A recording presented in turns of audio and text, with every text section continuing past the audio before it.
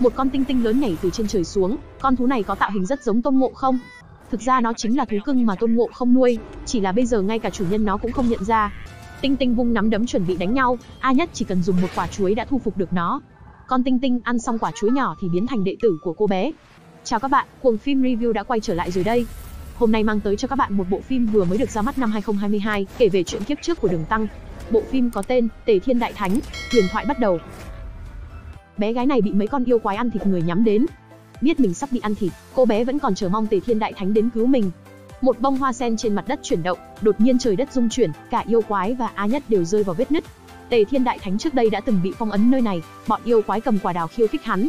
Con khỉ này đã 500 năm chưa được ăn đào nên đã nổi điên ngay tại chỗ, tiếc là bị xích sắt khóa tay nên không chạm được vào yêu quái. A Nhất khởi động pháp thuật địa đốn và bất ngờ phá được xích sắt của Tôn Ngộ Không. Tiếp theo đó hai con yêu quái này thảm rồi. Tôn Ngộ không mang theo cô bé chạy thoát khỏi Ngũ Chỉ Sơn.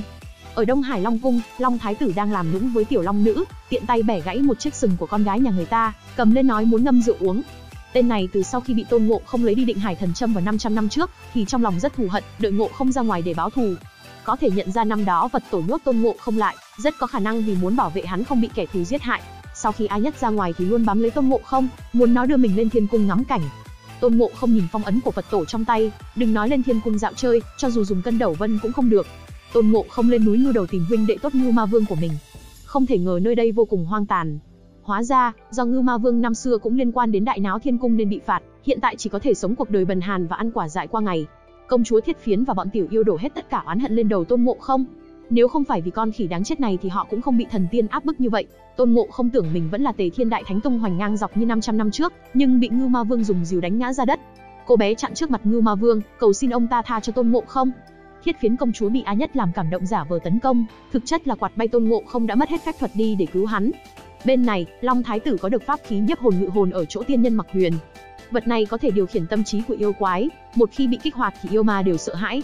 Ngộ không không có nơi để đi, chỉ có thể trở về quê nhà Hoa Quả Sơn. Nơi đây vẫn giống hệt như 500 năm trước, Tôn Ngộ không nói dối rằng ở địa bàn của mình không ai dám làm càn. Kết quả, giây tiếp theo có một con tinh tinh khổng lồ từ trên trời rơi xuống, khiến A Nhất sợ hết hồn. Tôn Ngộ không không thể ngờ chú tinh tinh nhỏ năm đó mình nuôi đã lớn đến mức này, 500 năm không gặp, Tinh Tinh sớm đã quên mất chủ nhân của mình rồi, tiến lên vung nắm đấm khiến Tôn Ngộ không bay xa. Câu nói không ai dám làm càn chẳng phải nói phép sao? Con Tinh Tinh nhảy đến, tiếp theo cho thêm một trưởng, Tôn Ngộ không suýt nữa mất mạng trong tay nó. Chính vào lúc nó lại tung một cú đấm nữa, cô bé cầm quả chuối đứng trước mặt Tinh Tinh, thấy vậy nó lập tức dừng lại. Xem ra con thú này thực sự là kẻ háo ăn. Tiếp đó, Tôn Ngộ không dẫn A Nhất vào thủy liên động. May mà gậy như ý của mình vẫn ở nhà chưa bị trộm mất. Hơn nữa, ngoài mình ra thì làm gì có ai cầm nổi chứ? Tôn Ngộ không vừa mới nói cách xong thì phát hiện mình cũng không nhắc nổi gậy như ý, chỉ có thể giải thích gậy như ý gần đây béo lên. Phúc Hải Đại Thánh Giao Ma Vương, tuân lệnh của Long Thái tử ở đây canh giữ định Hải Thần Trâm. Tôn Ngộ không muốn lấy gậy như Y đi, bắt buộc phải đánh bại Giao Ma Vương. Giao Ma Vương một tay ném A Nhất ra đằng sau ngã xuống đất, bắt nạt một cô bé thì tính là gì? Tôn Ngộ không phát điên tại chỗ, tiếc là hoàn toàn không phải đối thủ của Giao Ma Vương. Máu tươi trên tay A Nhất bị gậy như ý hút vào, đột nhiên kích hoạt được cây gậy ngủ say đã lâu, sau đó gậy như ý trở về tay chủ nhân, Giao Ma Vương bị đánh bại chỉ bằng một gậy. Xem ra cô bé này có liên hệ gì đó với gậy như ý, nhưng cụ thể là quan hệ gì thì Tôn Ngộ không nhất thời chưa thể hiểu rõ. Sau khi lấy được gậy như ý, Tôn Ngộ không lại đến Ngư Đầu Sơn lần nữa. Bọn yêu quái ở đây đều bị trừng phạt. Tôn Ngộ không diễn giảng một bài ca hào hùng, kêu gọi đám tiểu yêu hãy đứng lên làm chủ cuộc đời. Ngày hôm sau, hắn đưa Tinh Tinh cùng với tất cả tiểu đệ bắt đầu xuất chinh, quét sạch thiên binh thiên tướng canh gác trong phạm vi mấy trăm cây số quanh đây. Lần này Tôn Ngộ không không chỉ có gậy như ý, còn có con kinh công siêu to khổng lồ đi theo sau bảo vệ. Những tiểu tiên được Thiên Đình phái tới canh gác Hoa Quả Sơn, đều lần lượt bị đánh chạy về Thiên Đình. Đêm khuya, A Nhất nói với Tôn Ngộ không bố mẹ mình bị Long Thái tử Đông Hải sát hại. A Nhất thỉnh cầu Tôn Ngộ không đưa mình lên Thiên Cung, cầu xin Ngọc Đế giúp mình lấy lại công bằng. Tôn Ngộ không đồng ý với cô bé sẽ lên trời sớm thôi. Sau khi trời sáng, Tôn Ngộ không quyết định đuổi cùng giết tận tất cả tiểu tiên, nhưng bị A Nhất lương thiện cật lực ngăn cản. Tôn Ngộ không và cô bé lần này mỗi người một ý, sau khi A Nhất rời xa Tôn Ngộ Không thì bị Giao Ma Vương bắt, rồi đưa về Long cung hiến tế cho Long Thái tử. Long Thái tử phát hiện thể chất của cô bé này không bình thường, một giọt máu có thể kích hoạt pháp khí ngự hồn của Phật tổ. Tác dụng của ngự hồn giống như vòng kim cô, chỉ cần yêu ma đeo lên thì sẽ bị khống chế tâm trí, cảm giác giống như sản phẩm nhái của vòng kim cô vậy. Sau khi Tôn Ngộ Không không tìm thấy đối thủ, lại bắt đầu trở nên kiêu ngạo, quyết định đưa cháu chắc nhà khỉ lên thiên đình. Điều này khiến con khỉ già sợ hãi vô cùng. Đột nhiên buồm ngự hồn bay trúng đầu Tôn Ngộ Không, Tôn Ngộ Không chưa từng chứng kiến thứ nào như này, đột nhiên liền cảm thấy bản thân mất kiểm soát, ra tay tàn bạo với lũ con cháu của mình.